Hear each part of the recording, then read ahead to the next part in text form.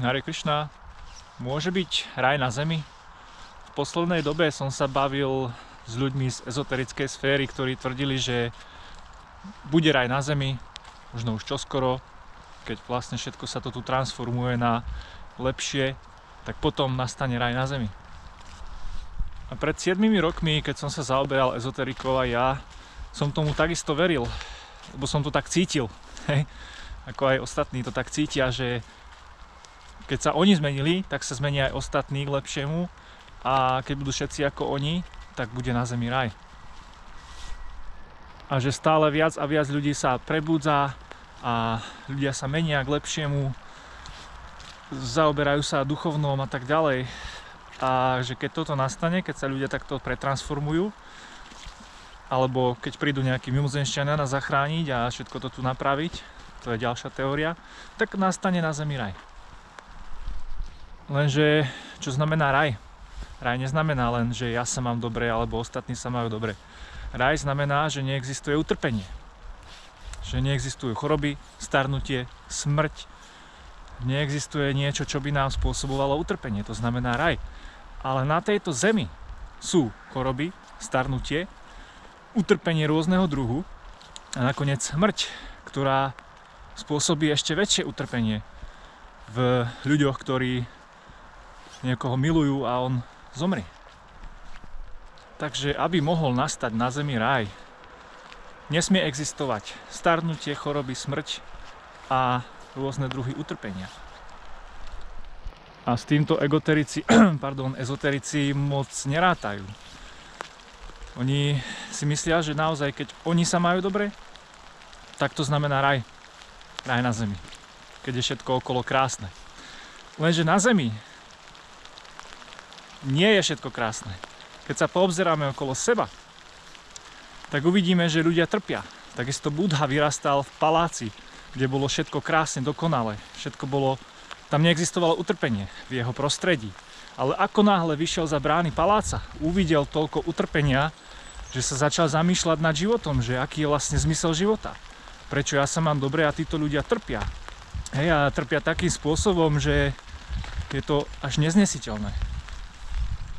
Takisto človek, ktorý sa nedávno duchovne prebudil a začal vnímať svet inak, a teraz si myslí, že keď on sa zmenil a on sa má lepšie alebo je šťastnejší, láskyplnejší, že vlastne ostatní sa takisto zmenia a bude na zemi raj.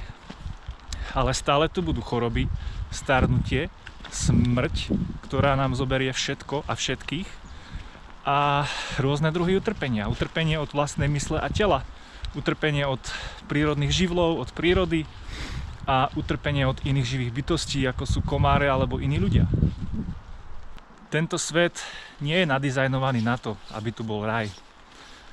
Ale aby sme si mohli naplniť svoje materiálne túžby a zistili, že naplnenie týchto túžob nás nikdy úplne neuspokojí a nenaplní. Kedy si som si myslel, že na Zemi bude raj, že sa tu všetko zmení k lepšiemu, že ľudia budú šťastní a láskyplní a všetko bude krásne, všetko bude napravené. Ale Bhagavad Gita a Srimad Bhagavatam mi zmenili pohľad na realitu. Vlastne tieto písma popisujú skutočnú realitu, že tento svet je miestom utrpenia. Celý vlastne vesmír, všetky planety vo vesmíre sú miestom smrti. A tam, kde je smrť, ako môže byť raj? Keď človek alebo živé bytosti chcú žiť väčšine, ale v tomto prostredí, v tomto svete žiť väčšine nemôžu. Aj keby sa mal človek celý život dobre a netrpel, čo je veľmi málo pravdepodobné, pretože každý si do určitej miery zažíva nejaké utrpenie. Ale aj keby niekto žil tak v pohodičke, že netrpí, tak aj tak nakoniec všetko musí zanechať.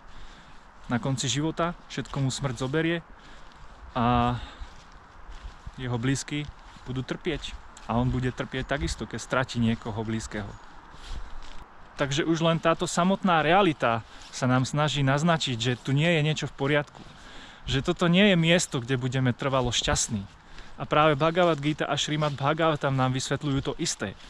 Že toto nie je miesto pre dušu, kde by mohla byť skutočne trvale šťastná.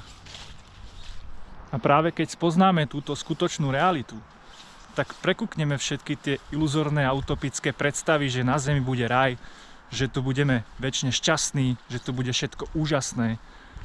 Nebude, pretože toto je mritiu to je planéta smrti. A kde je smrť, nemôže byť trvalé šťastie. Takže máme na výber. Buď sa budeme držať nejakých utopických filozofií, predstav, že tu bude raj, alebo sa budeme držať reality, ktorú popisujú aj Srimad Bhagavatam a Bhagavad Gita a popisujú oveľa viac, veľa ďalších vecí, ktoré môžeme pozorovať v realite. Ale tie filozofie, ktoré sú vymyslené, že tu bude raj a že všetko bude krásne, tak to pozorovať v realite bohužiaľ nemôžeme. Pokiaľ si vytvoríme takú iluzórnu realitu, ako mal Budha, že všetko je krásne v jeho paláci, ale za bránami paláca je to utrpenie, tak to nebude tá skutočná realita, ale nejaká ilúzia zase. Takže je na nás, či chceme žiť v pravde a v realite, alebo si chceme vytvárať iluzórne utopické predstavy, že bude tak a tak a tak, že tu bude raj a podobne. Hare Krishna.